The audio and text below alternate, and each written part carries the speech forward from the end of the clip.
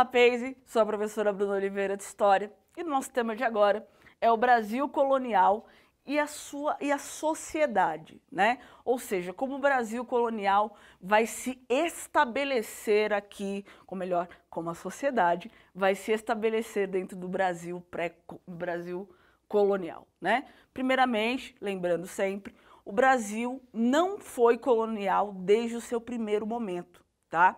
O Brasil, ele passou por 34 anos de abandono total da nossa metrópole, que no caso era Portugal, porque eles não acharam que eles vieram buscar no primeiro momento. Eles estavam atrás de ouro, eles queriam ouro a todo custo. Afinal de contas, essa era a nova moeda e eles precisavam encontrar. Por não terem encontrado, simplesmente pegaram o pau-brasil, foram colonizou, né? Fez, fizeram os indígenas trabalharem para ele de modo escravo durante algum tempo, durante 34 anos exatamente. E aí começaram a haver invasões, né? Porque o Brasil é, tem um espaço litorâneo gigantesco, o território litorâneo do Brasil é gigante. Então Portugal não conseguia dar conta. E aí começaram a haver as invasões holandesas, as invasões é, francesas e por aí vai. E eu vou tratar com vocês um pouco sobre a mão invisível da Inglaterra para que é, Portugal chegasse ao Brasil, para que Portugal colonizasse, para a independência e quando os, o Portugal foi obrigado a vir para o Brasil em 1808, fugindo de Napoleão Bonaparte. Né? Primeiro, para a gente poder falar sobre isso, vamos voltar lá no ano de. Para a gente poder entender isso aqui, tá? Vamos voltar no ano de 1312, se não me falha a memória, ou é 1314 até 1316. Tem uma revolução em Portugal, chamada Revolução de Avis. Né? O que foi a Revolução de Avis? O rei morreu é, e quando ele morreu, a filha dele tinha se casado com o rei de Castela, que ficava na Espanha. Era a dona Beatriz. Se casou aos 13 anos por conchavos, enfim, políticos. E aí, quando ele morre, ele não tem ninguém, nenhum homem, para deixar no seu lugar. E por ele não ter nenhum homem para deixar no seu lugar, ou ah, o poder político de Portugal passaria para Castela, no caso, para dona Beatriz, mas Portugal, então, seria governada por quem? Por quem? Por quem? Pela Espanha. Porque, afinal de contas, a filha do rei é casada com um rei espanhol. Para que isso não acontecesse, Dona Leonora, que era a esposa do, do falecido rei, é, entrou e tomou o poder. Só que a gente tem uma coisinha chamada machismo, né, que existe desde sempre. Afinal de contas, esses maus hábitos que a gente adquire para conviver em sociedade são maus hábitos históricos também. Então, assim, dentro desse mau hábito, o português se rebelou contra a Dona Leonora, disse: olha, não queremos uma mulher no poder, mas também não podemos deixar que a administração, ou seja, a autonomia portuguesa, torne-se espanhola. Então, o que, que vai acontecer? Portugal ali, os liberais, os burgueses vão se reunir, né? Fazer uma, uma guerra, uma tremenda guerra. Foi, foi desastroso.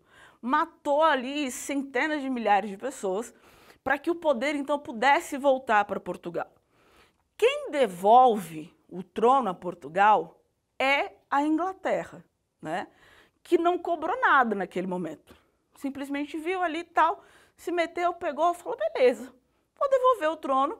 E aí entra a família Bragança, né, que fica aí durante muito tempo, até chegar aqui no Brasil. E aí é, os ingleses, eles têm uma maneira muito sutil, porque eles não vão pedir nada para Portugal, muito pelo contrário. E aí quando eles chegam em 1534, que está tendo um monte de invasão, e aí o que, é que acontece? Pede ajuda de Portugal, dos ingleses novamente, a ajuda do inglês foi uma sugestão. Ora, se você está com problema, povoe, povoe a sua colônia. E como fizeram isso? Primeiro, partindo dessa sugestão inglesa, chamaram aí um carinha chamado Martim Afonso de Souza. Martim Afonso de Souza trouxe para o Brasil a primeira muda de cana de açúcar, né? E aí criou-se as capitanias hereditárias. Foram 15 no total, mas só duas vingaram. O que, foram essas capitanias hereditárias, afinal de contas? Foi a forma como Portugal encontrou de não precisar sair da metrópole, que era Portugal, né? E, enfim, colonizar, né, da, colocar gente dentro da sua colônia. Então, é, dessas 15 capitanias hereditárias, somente duas vingaram, uma em Pernambuco e a outra em São Vicente. Essa implantação de um negócio lucrativo, por que é lucrativo? Primeiro, porque a mão de obra é escrava, né? Então, assim, agora, em 1888, 1534, ainda era escravidão indígena. 1588, escravidão africana, ok? Então, nós estamos falando aqui da implantação de um negócio lucrativo por ser de mão de obra escrava, né? E vamos determinar aí onde vai ficar cada coisa. Bom, tem o engenho. O que vem a ser o engenho? O engenho é a unidade produtora, né? O que, que é? é? Ah, é onde planta as canas de açúcar? Não. É onde você leva a cana de açúcar, aí você moe e tudo mais. O engenho é onde fica basicamente, é o seu local de trabalho quando você tira as mudas de cana de açúcar, quando você colhe essa cana de açúcar, ok? E aí, uma coisa que é muito curiosa é o seguinte. Vejam bem, como a gente já começa com o nosso, eu chamo de instinto de, de, de vira-lata, né? De gostar, de depender de outras pessoas. Porque a gente, não, Porto, Portugal se organizou muito mal para poder colonizar o Brasil.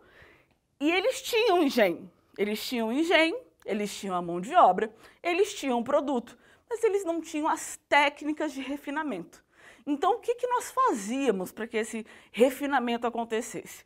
Nós mandávamos o açúcar que colhíamos para a Holanda, vendíamos para a Holanda já a um preço bem mais baixo do que o de mercado. A Holanda refinava esse açúcar, devolvia para Portugal, só que Portugal para o Brasil, né?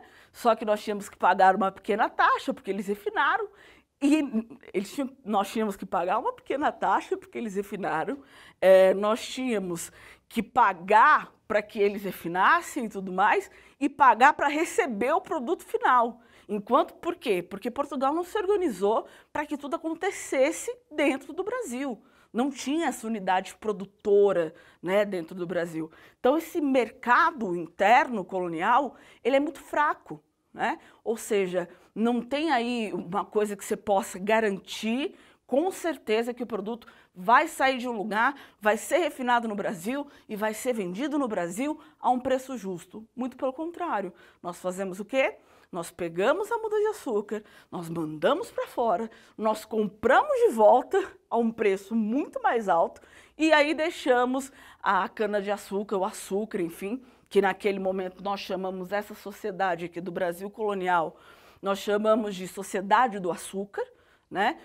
E começamos a dar força aí aos engenhos, mas não a pensar em novas formas de fazer com que esse modelo que eu expliquei para vocês, que tem que ir para fora e voltar, deixasse de, de acontecer.